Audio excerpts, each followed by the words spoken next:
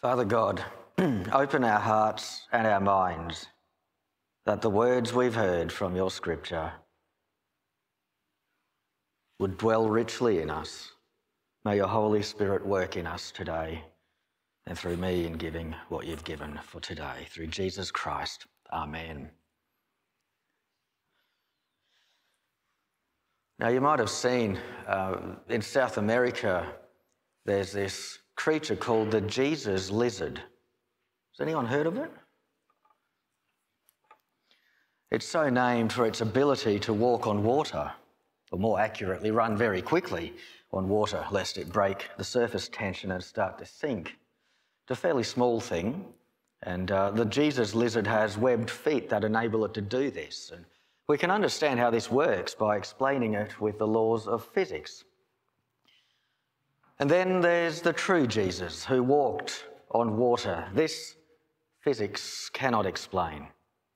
If you and I were to try, we'd of course break the surface tension. We'd sink into the water no matter how careful we were. And sure, some might kind of skim over the water for a certain distance if they build up enough speed beforehand, such as on skis of some kind. Even a fast ridden motorbike, you might have seen, uh, can, can make it a short way out over a, a lake before starting to sink through. But forget the tools and the toys. Try using your feet to do what our Creator made them to do walk. But on water? No. Today, as we gather for our annual general meeting afterwards, it's a good opportunity to consider what kind of year have we had? What kind of year have you had? For some, it may feel like you, like the disciples, are rowing a boat into a strong prevailing wind that is keeping you from getting to where you want to go. Others of us, I wonder, have we become frightened? Have we mistaken the Lord for something else in these uncertain times? After all, the disciples thought the Lord was a ghost. And considering our congregation, some may see a church that, perhaps like Peter, once walked on water, but has started to sink. If the Word of God is our sure foundation of truth, and if the Holy Spirit ministers to us directly through the Word, then how much more do the recorded, spoken words of Jesus bring us the hope and the comfort, and sometimes the correction that we need? And so in today's text, there are three sayings of Jesus that speak to us today, just like they did that tiresome, hard working night, rowing against the wind, making it to nowhere fast. Firstly, take heart. It is I. Do not be afraid.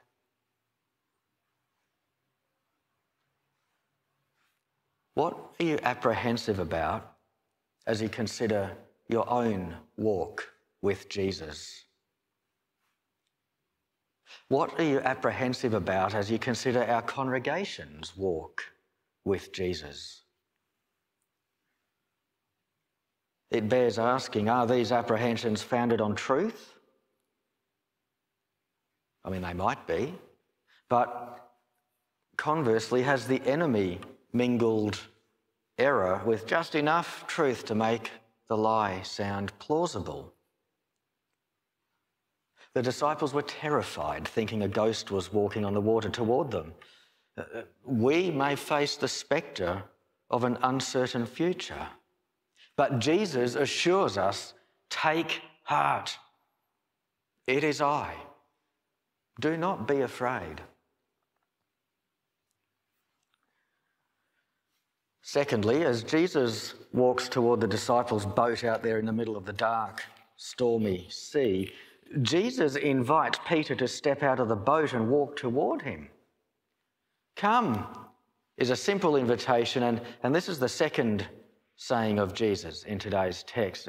In fact, it was Jesus' response to Peter. Peter, uh, who was so emboldened as to say, Lord, if it is you, command me to come to you on the water. Uh, and so Jesus does. Are you riding out the uncertainty of life, hiding in a boat, being tossed about like a cork on the sea? Or are you stepping out of your safety zone and walking toward Jesus as he invites you personally come to me? As a congregation, are we walking toward Jesus, seeking to be where he is? Even if we have to get out onto the water. And this brings us to the third saying of Jesus. Peter had just taken a bold, brave step of faith out of the boat. Uh, the water held. Uh, that's a miracle. As long as Peter's focus was solely on Jesus, the surface held and he walked on the water just like his Lord. But as soon as Peter started to notice things other than Jesus, like how darned windy and dangerous it was, he started to sink into the water. And so he screams out, Lord, save me.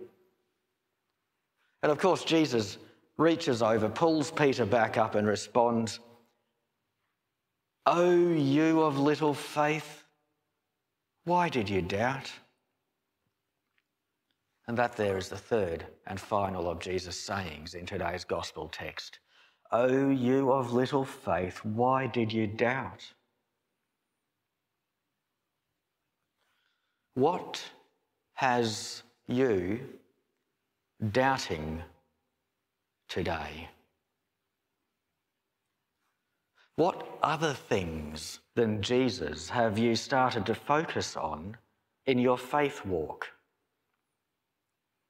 Have we as a congregation become a doubting congregation?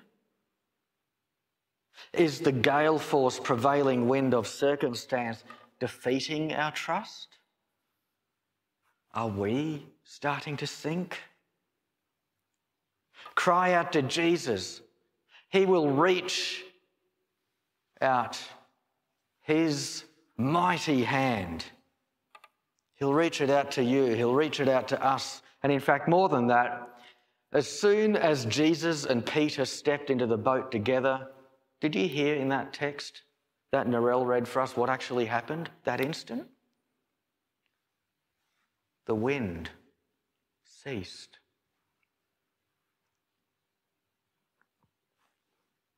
So it is with us, hand in hand with Jesus. The storms either become navigable and tolerable because we're safe with our Lord, or sometimes He makes the storm vanish.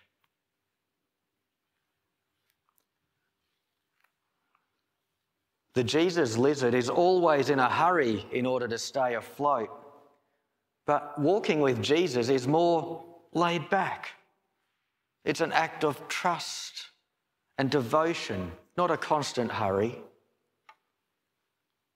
It's a relationship where, where He is the only object and focus of our faith.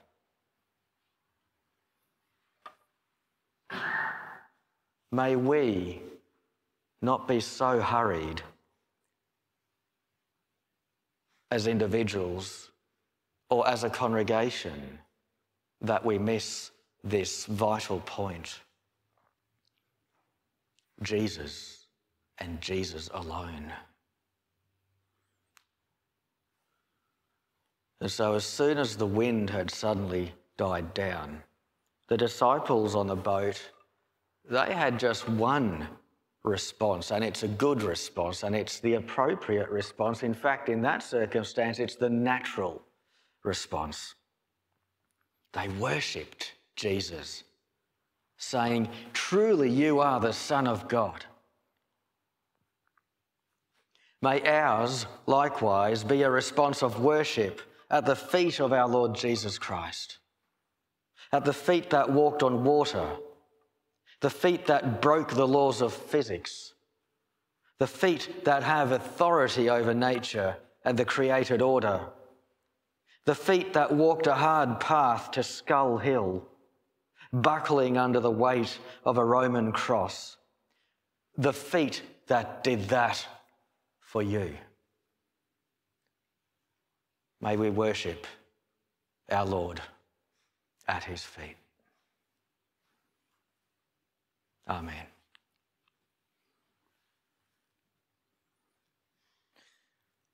Lord God,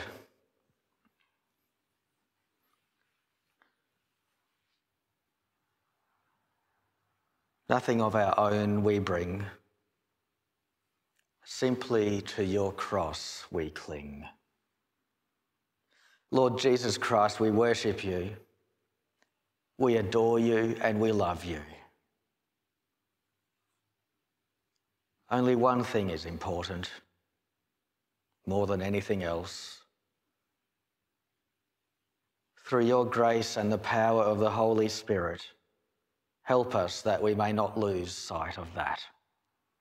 In your name, Jesus, Amen.